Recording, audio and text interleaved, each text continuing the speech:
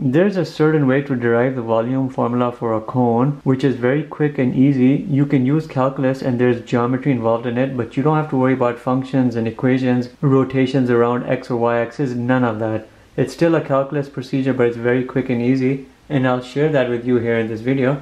Thank you for joining me. I'm Mr. Ish.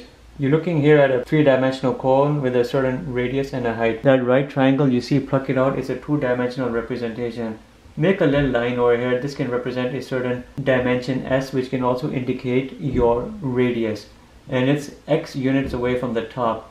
You have a complete height a reduced height. You have a complete radius and a reduced radius. Solve for s. X over s is equal to h over r. S is equal to x r over h. This represents the radius of this cone at any point between a lower limit and an upper limit and all your slices are obviously circles pi r square. You're looking here at pi s square which would be pi x square r square over h square because I'm squaring all of that. You're gonna have a pi x square r square over h square which will now integrate from a lower limit 0 to an upper limit h. Volume with respect to x is going to be 0 to h. Push the pi out. You will integrate x square r square over h square dx you have pi r squared over h squared pushed outside. The antiderivative of x squared would be x cubed over 3, h and 0. Plug the h in.